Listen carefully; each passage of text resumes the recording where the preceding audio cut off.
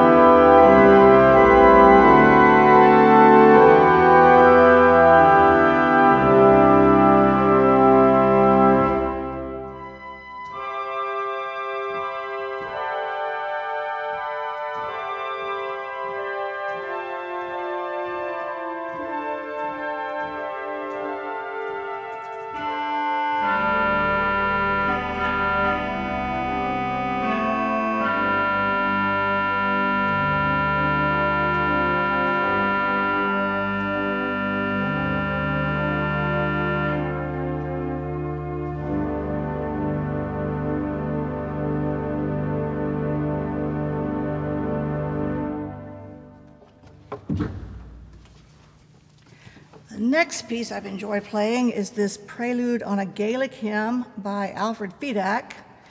It's based on a hymn um, spelled C O L U M C I L L E, which according to Mr. Google is pronounced Columcille. Uh, it's showing up in a lot of hymnals now um, as an Advent text, but it's also got some general words to it in some hymnals, so it might be a new hymn tune for you to explore. The composer has said the piece may be played loudly and boldly or quietly and gently. I've gone for bold. So here's a bit of the Alfred Fedak prelude on a Gaelic hymn.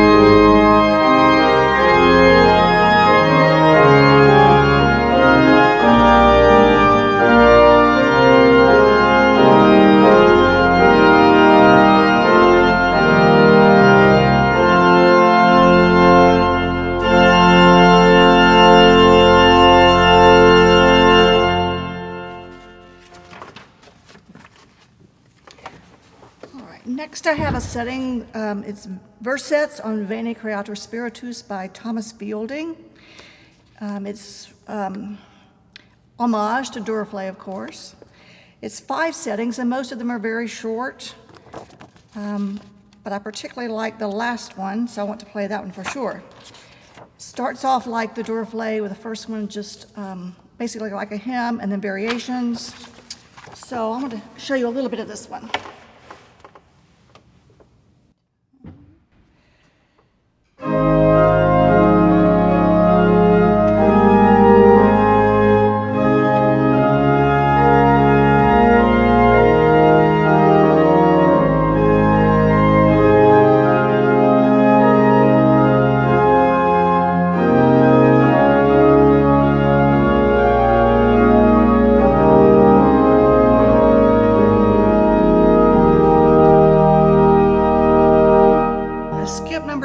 I can go to number three. It doesn't call for the Zimbel stern, but I've got one, so I'm going to use it.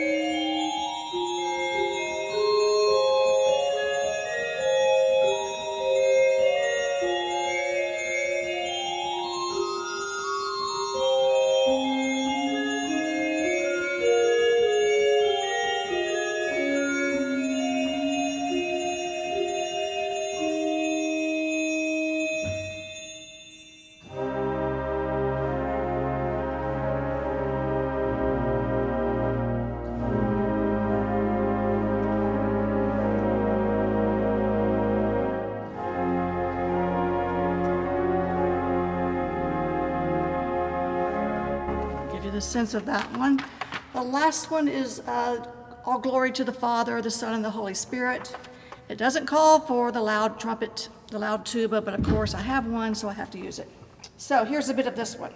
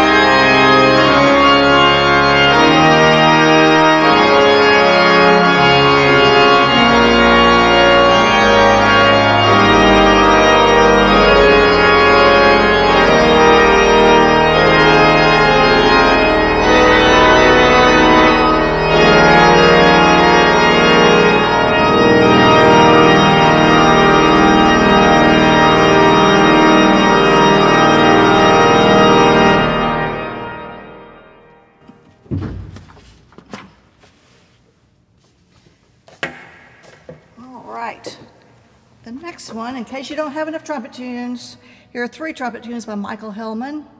I'm going to play just a little bit of the one in A major. Um, you'll notice that I tend to copy my music and put everything in a notebook because I'm right here in the center of the church and I want to create as little distraction as possible. And it gives me a chance then to copy the page turns like I'd like. But I wanted to show you one thing I've got here to save myself. I want to turn out the last page that I've Xeroxed so carefully. So to remind myself, I cover up the first measure of music, so I'm forced to do something. So there's your helpful hint from Elizabeth today. No charge. Here's a bit of the A major trumpet tune.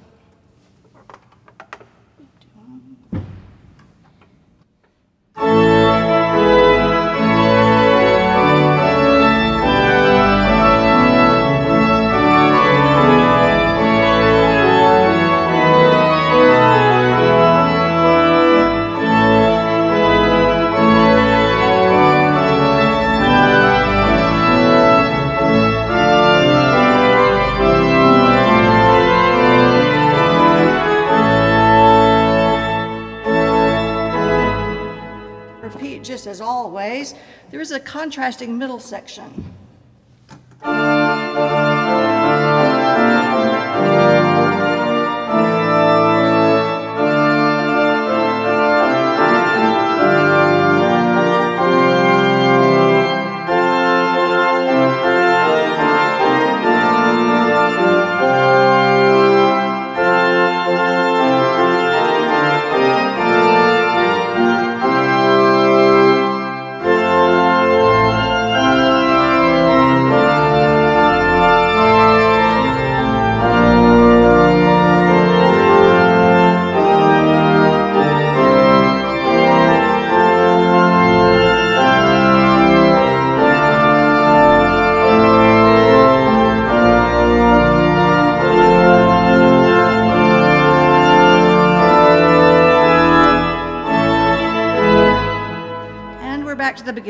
Here's the ending. If I can get the right piston. There we go.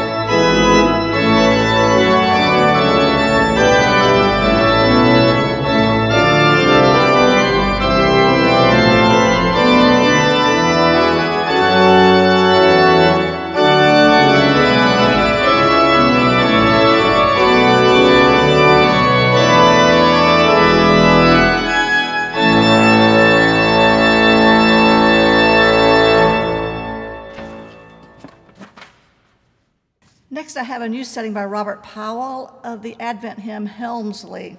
It's in three sections. The first is pretty much a playing through of the hymn. The second is a fun little two-part thing for the hands. And then the last one is a little bit more filled out. So I'll skip around the melody a little bit since it does repeat the first section, um, but to give you a sense of the piece.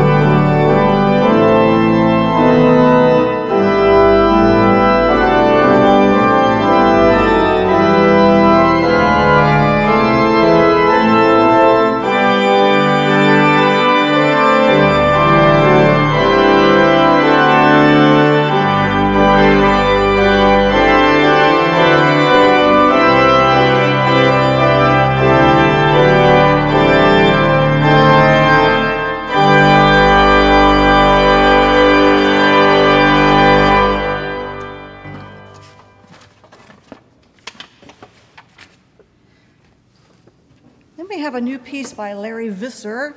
It's a triptych on Guide Me, O Thou Great Redeemer, Cwm Rhondda. The first one is like a fanfare, and that uses the big reeds again. The second one has the slushy strings with a two foot in the pedal, I believe. The last one is called Bolero, and it has an optional snare drum.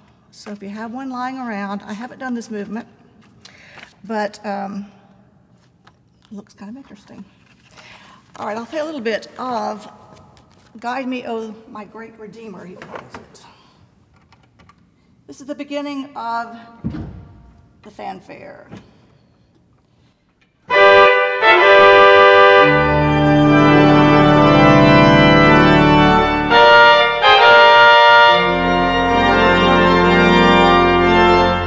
I'll skip a little bit to the melody.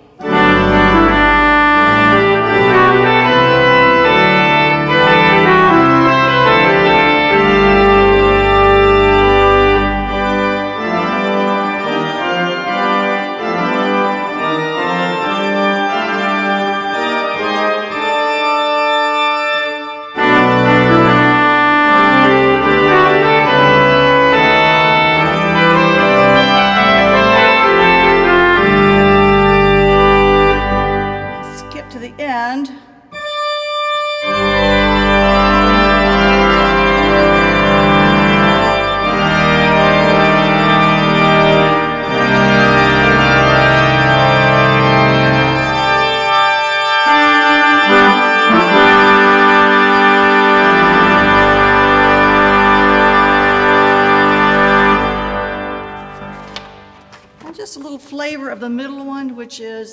Open Now the Crystal Fountain.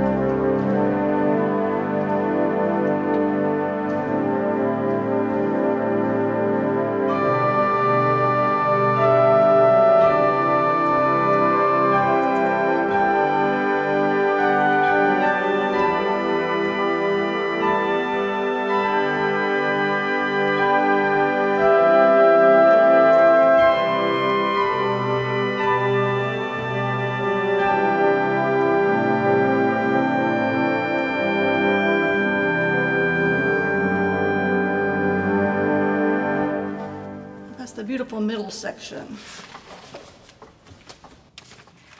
The next piece I'd like to show you is actually not this book. Um, Augsburg Organ Library has been coming out for years with some wonderful collections, and now they've started over.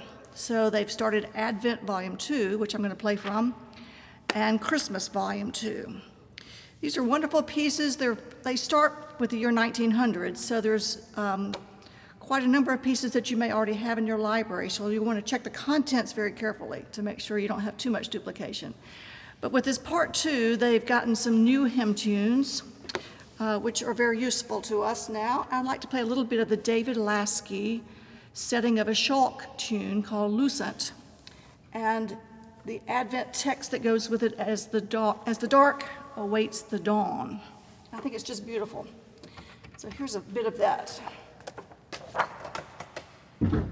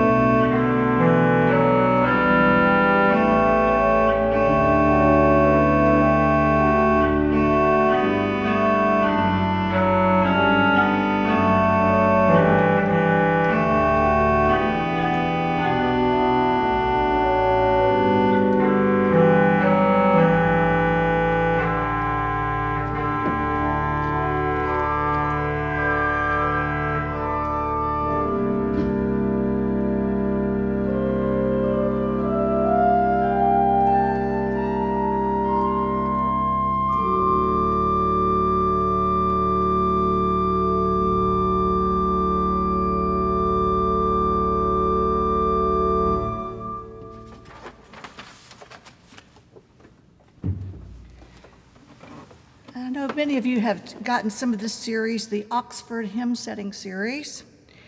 They are now up to volume seven. Six came out recently. It's the Autumn Festivals. And seven, of course, is Holy Communion.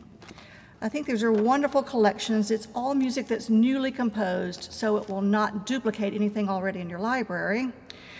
And we have, of course, here a wonderful American organ in an English chapel And so the composers are both English and American. And there may be some tunes that you don't quite know because they're more British, and there's some that they won't know because they're more American. Oxford's done a great job of getting women composers involved in these, and so um, Becky te Velde is one of the editors, and she has contrib- contributed a lot of pieces. Mary Beth Bennett, um, Pamela Decker, um, Sarah MacDonald. And also, of course, in all of these, there's a lot of Malcolm Archer, who will be our guest next year, so you may want to get some of these and learn some of his pieces. Um, very poignant that it's a Dobson organ on the front. And of course, their factory burned down, what, just a month ago. So we'll hope they'll be back soon. I want to play just a few pieces from the Holy Communion one.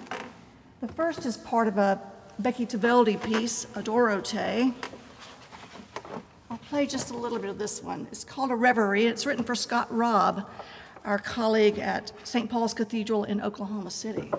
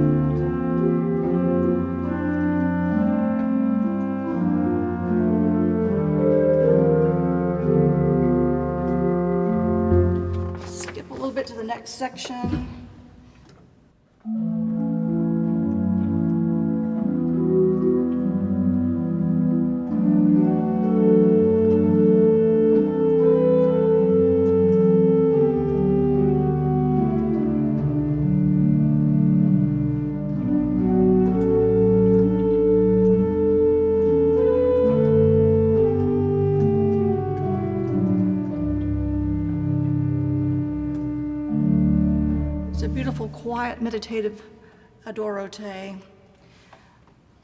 There's also a piece by Matthew Coral. It's based on a spiritual, and he calls it Welcome Table. A bit of that.